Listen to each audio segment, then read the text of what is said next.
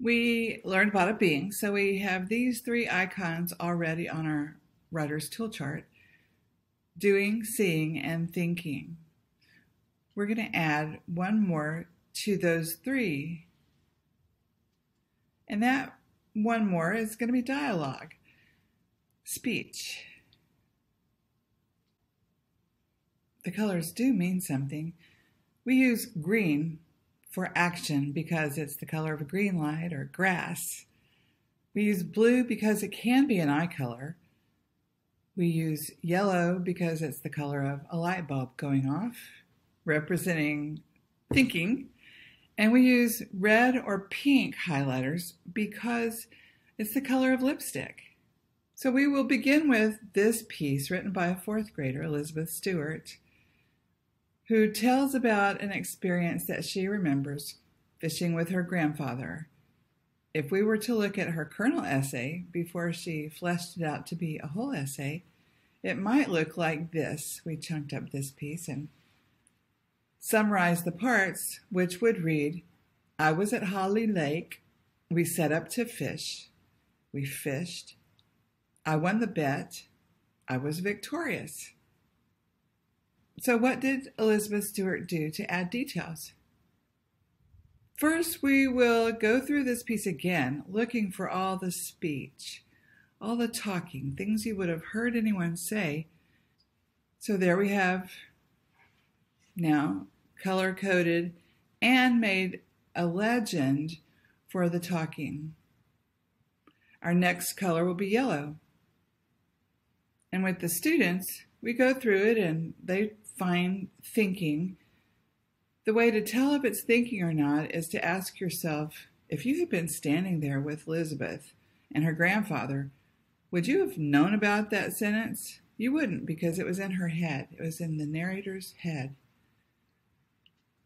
Next, we color all the blue for seeing.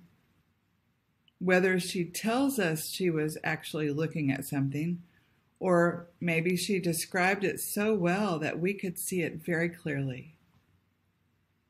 Green for doing, we saved that for last. It's the action. And it's not just the writer's feet.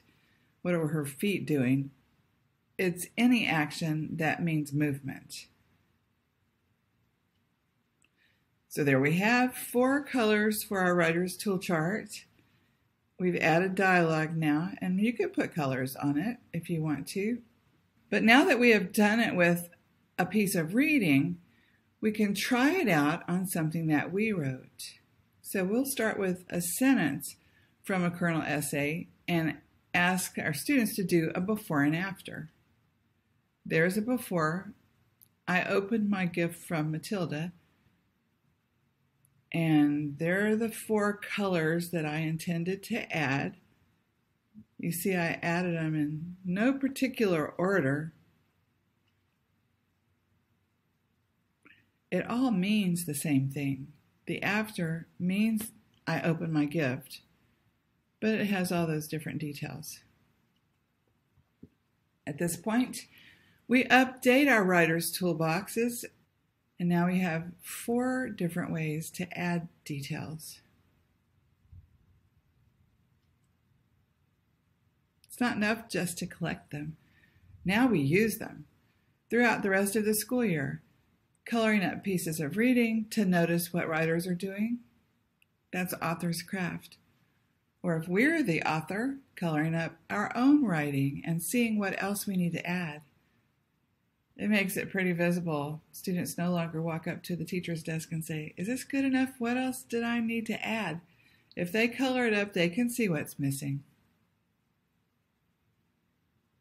Here's an expository piece written by a fourth grader. It scored the highest possible score on the STAAR test in 2018. You can see part of the craft of this student by looking at the colors. Same with this one another fourth grade composition. People often think that, yes, talking, thinking, seeing, and doing are great for narrative writing, but these are expository pieces. Using lively details included in these four colors brings a piece of writing to life for a reader, even if it's an expository piece. This one is a seventh grade piece. Another seventh grade piece. A ninth grader wrote this one. You could make stations around your room for students to go alone or with a partner to remember. Now, what could I add for snapshots?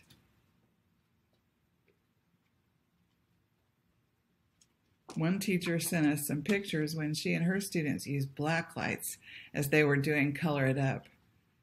Don't those look like fun? And we continue throughout the year adding not only craft but additional structures to our banks of those too, and we continue to use them as we write.